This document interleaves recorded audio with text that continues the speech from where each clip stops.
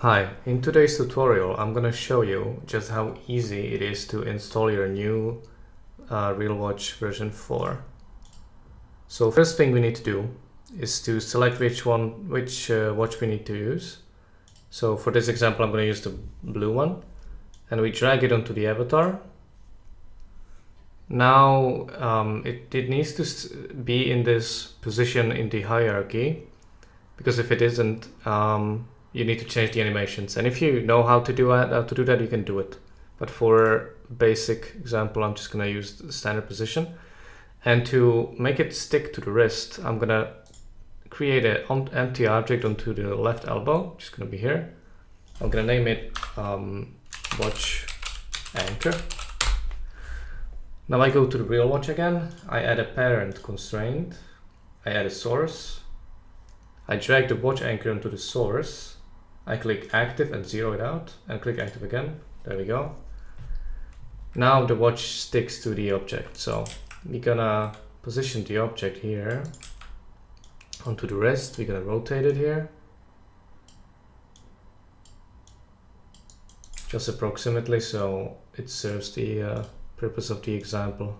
And if you need to scale the watch, you scale the actual watch.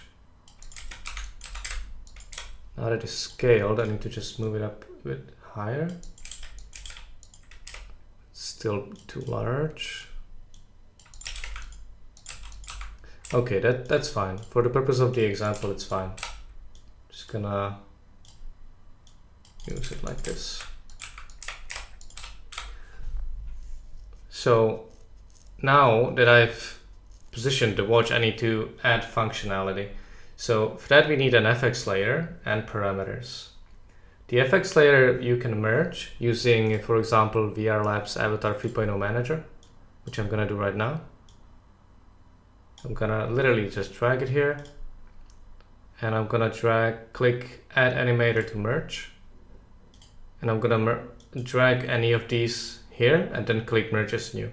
Now I've, now I've done it already, so I'm not gonna do it again. But the difference between these is that it's five different um, seconds and speeds animations. And by speed mean I mean the amount of ticks per second because we don't necessarily have to have the seconds hand move every second. We can make it move uh, much more often.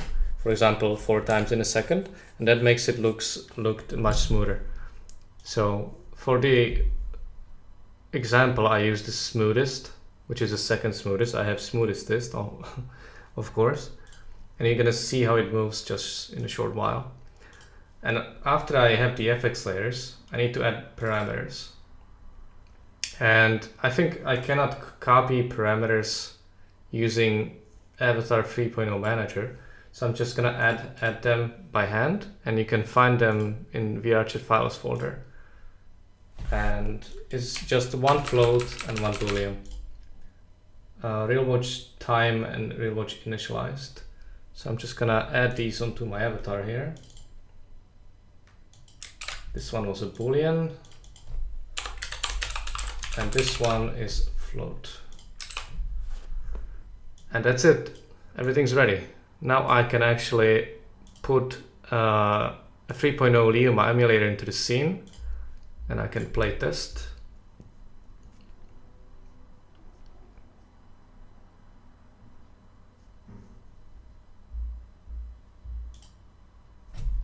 I'm gonna make my avatar go a bit down so we can see the watch. And now you see the watch is moving. And to test this really well, you can um, look for the float, the RV time in here, which is down here. And you can just drag it and you see it's moving. And to test if it, the animation is correct, you just put in 0.5 and it should be zero zero time like midnight. This is like the middle of the 24 hour cycle.